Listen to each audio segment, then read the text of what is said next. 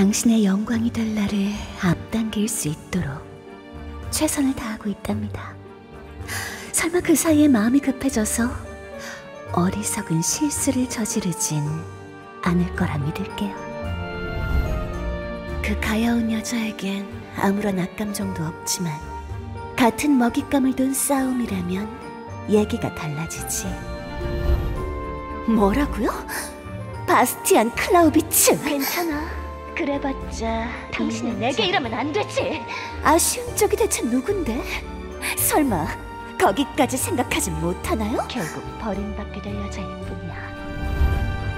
위로가 필요한 나를 위해 작은 호의 하나만 베풀어 줄 수 있나요? 당신의 낮을 그 아가씨에게 양보해 주겠어요. 대신 당신의 밤을 내게 주었으면 해요.